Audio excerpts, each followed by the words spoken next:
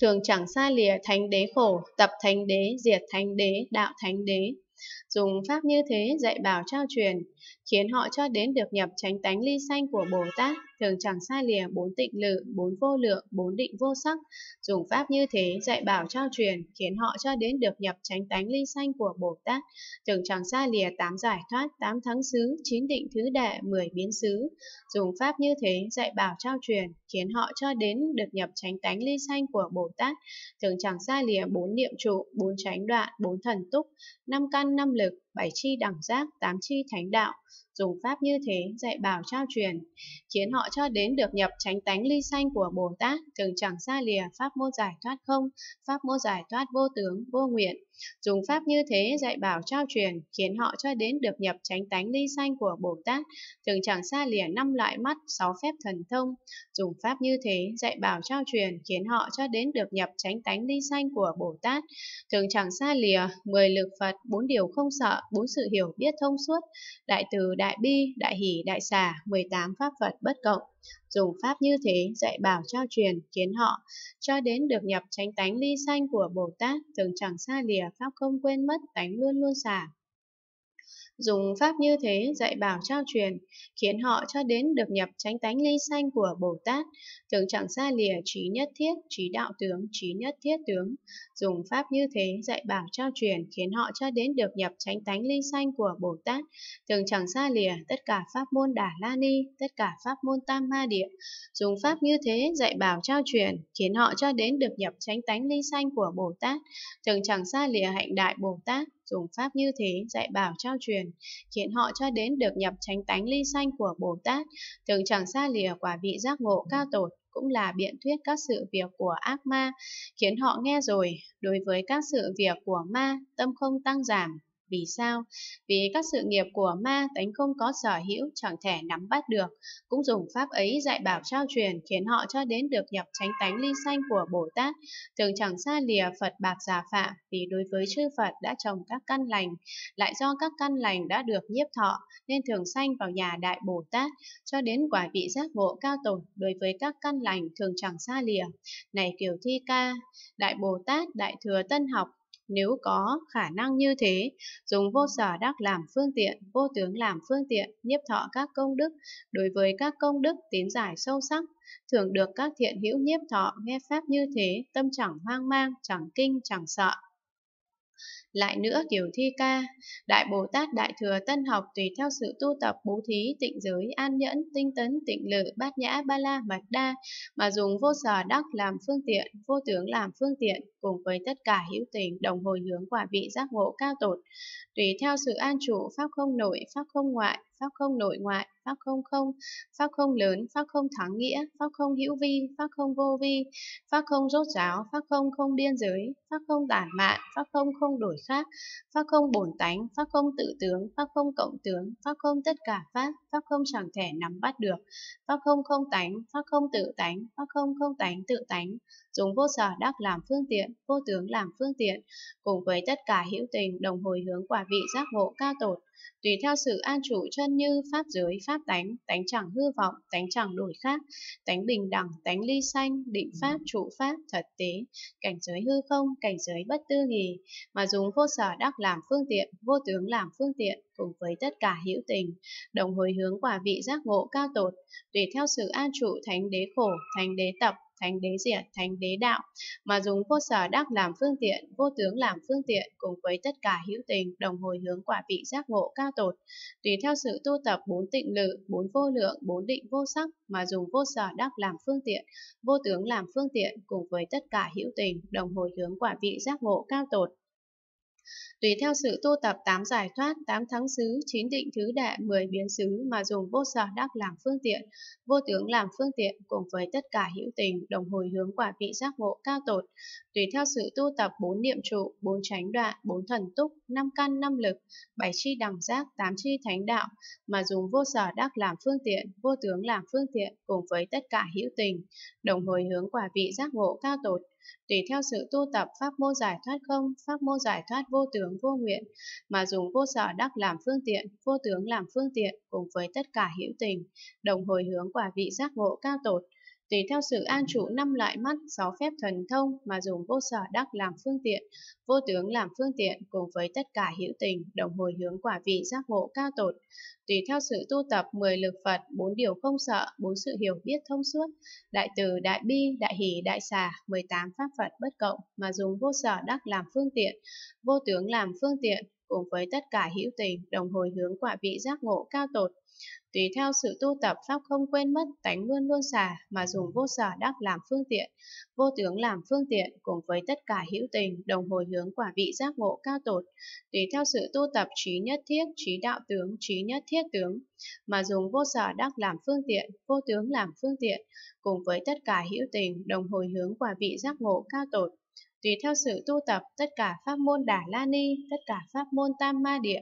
mà dùng vô sở đắc làm phương tiện, vô tướng làm phương tiện, cùng với tất cả hữu tình, đồng hồi hướng quả vị giác ngộ cao tột, tùy theo sự tu tập hạnh đại Bồ Tát mà dùng vô sở đắc làm phương tiện, vô tướng làm phương tiện, cùng với tất cả hữu tình, đồng hồi hướng quả vị giác ngộ cao tột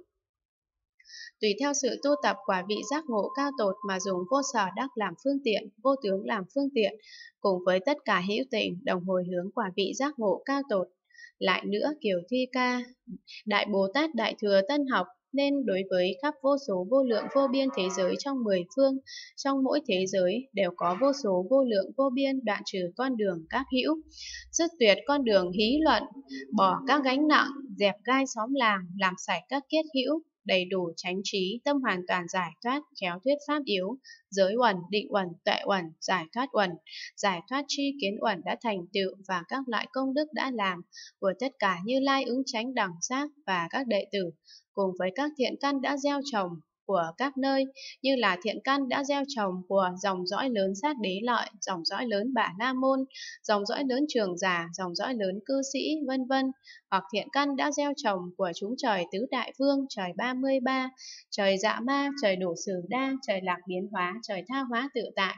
hoặc thiện căn đã gieo trồng của trời phạm chúng, trời phạm phụ, trời phạm hội, trời đại phạm, trời quang, trời thiểu quang, trời vô lượng quang, trời cực quang tịnh, trời tịnh, trời thiểu tịnh, trời vô lượng tịnh, trời biến tịnh, trời quảng, trời thiểu quảng, trời vô lượng quảng, trời quảng quả hoặc thiện căn đã gieo trồng của trời vô phiền, trời vô nhiệt, trời thiện hiện, trời thiện kiến, trời sắc cứu cánh, vân vân. Tất cả những thiện căn như thế tập hợp lại cân nhắc suy lường, khởi ngay sự so sánh thì đối với các thiện căn khác tâm tùy hỷ là tối thắng, là tôn quý, là cao siêu, là vi diệu, là cao cả, là không gì cao hơn, không gì bằng, không gì hơn. Lại dùng sự tùy hỷ như thế cùng làm các sự nghiệp phước đức cùng với tất cả hữu tình đồng hồi hướng quả vị giác ngộ cao tột.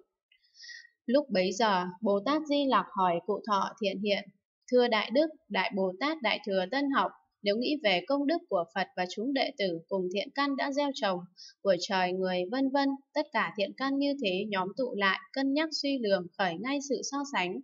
thì đối với các thiện căn khác tâm tùy hỷ là tối thắng, là tôn quý, là cao siêu, là vi diệu, là cao cả, là không gì cao hơn, không gì bằng, không gì hơn, lại dùng thiện căn tùy hỷ như thế cùng với các hữu tình đồng hồi hướng quả vị giác ngộ cao tột, thì Đại Bồ Tát ấy vì sao chẳng rơi vào tưởng điên đảo, tâm điên đảo, kiến điên đảo. Cụ thọ thiện hiện đáp, thưa đại sĩ, nếu Đại Bồ Tát đối với công đức có được, đối với sự niệm Phật và chúng đệ tử, chẳng khởi lên tưởng về công đức của chư Phật và chúng đệ tử. Đối với các thiện căn đã gieo trồng của trời người vân vân, chẳng khởi tưởng thiện căn của trời người vân vân. Đối với tâm đã phát khởi sự tùy hỷ hồi hướng quả vị giác ngộ cao tội cũng lại chẳng khởi tưởng về tâm tùy hỷ hồi hướng quả vị giác ngộ cao tội thì đại bồ tát ấy đã khởi sự tùy hỷ hồi hướng không có tưởng điên đảo, không có tâm điên đảo, không có kiến điên đảo nếu Đại Bồ Tát đối với công đức đã có về sự niệm Phật và chúng đệ tử và tướng công đức của Phật đệ tử đối với thiện căn đã gieo trồng của trời người vân vân, giữ lấy tướng thiện căn của trời người vân vân đó, đối với tâm đã phát khởi sự tùy hỷ hồi hướng quả vị giác ngộ cao tột, giữ lấy tướng của tâm đã phát khởi sự tùy hỷ hồi hướng quả vị giác ngộ cao tột, thì đại bồ tát ấy đã khởi sự tùy hỷ hồi hướng, có tưởng điên đảo, có tâm điên đảo, có kiến điên đảo lại nữa, thưa đại sĩ, nếu Đại Bồ Tát dùng tâm tùy hỷ như thế, nghĩ về công đức thiện căn của tất cả các đức Phật và chúng đệ tử, Biết đúng đắn tâm này là tận diệt ly biến, chẳng phải là năng tùy hỷ. Biết đúng đắn tánh của Pháp ấy cũng vậy, chẳng phải là sở tùy hỷ. Lại hiểu đúng đắn,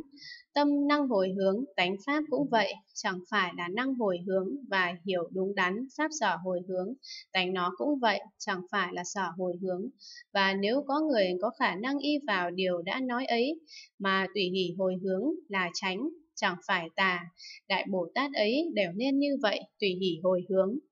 Lại nữa, thưa đại sĩ, nếu Đại Bồ Tát đối với tất cả như lai ứng tránh đẳng giác ở quá khứ vị lai hiện tại, từ sơ phát tâm đến đắc quả vị giác ngộ cao tột, cho đến pháp diệt, công đức có được ở khoảng giữa, hoặc đệ tử Phật và các độc giác y Phật Pháp ấy mà khởi thiện căn, hoặc các phàm phu nghe sự thuyết pháp ấy mà trồng căn lành, hoặc các long thần, dược xoa, kiền đạt phược, a tố lạc, yết lộ trà, khẩn nại lạc, mạc hô lạc già, nhân phi nhân, vân vân, nghe sự thuyết pháp ấy mà trồng căn lành, hoặc dòng dõi lớn sát đế lợi, dòng dõi lớn bà la môn, dòng dõi lớn trưởng giả, dòng dõi lớn cư sĩ, vân vân,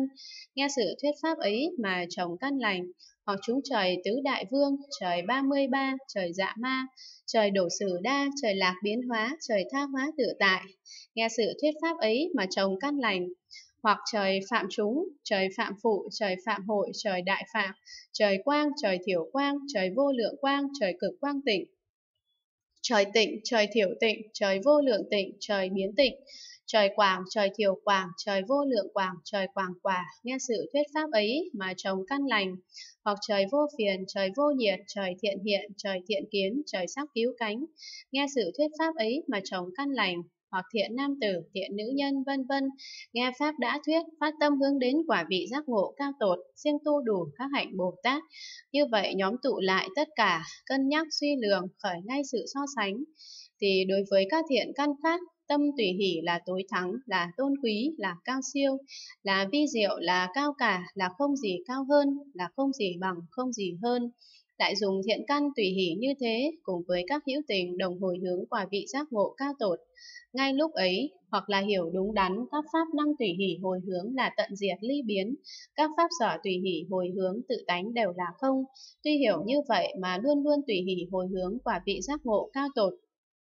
Lại ngay khi ấy, hoặc hiểu đúng đắn hoàn toàn không có pháp để có thể luôn luôn tùy hỷ hồi hướng. Đối với pháp vì sao? Vì tự tánh của tất cả các pháp đều là không, trong cái không hoàn toàn không có pháp năng sở tùy hỷ hồi hướng. Tuy biết như vậy mà luôn luôn tùy hỷ hồi hướng quả vị giác ngộ cao tột. Đại Bồ Tát ấy hoặc luôn luôn tùy hỷ hồi hướng như thế mà tu hành bát nhã ba la mật đa, tu hành tịnh lự, tinh tấn, an nhẫn, tịnh giới, bố thí ba la mật đa, không có tưởng điên đảo, không có tâm điên đảo, không có kiến điên đảo, vì sao? Vì Đại Bồ Tát ấy đối với tâm tùy hỷ chẳng sanh chấp trước, đối với thiện căn công đức tùy hỷ cũng chẳng chấp trước, đối với tâm hồi hướng chẳng sanh chấp trước, đối với sở hồi hướng quả vị giác ngộ cao tột cũng chẳng chấp trước, đối tâm hồi hướng chẳng sanh chấp trước, đối với sở hồi hướng quả vị giác ngộ cao tột cũng chẳng chấp trước, do không chấp trước nên chẳng rơi vào điên đảo. Đại Bồ Tát đã khởi tâm tùy hỷ hồi hướng như thế, gọi là sự tùy hỷ hồi hướng vô thượng.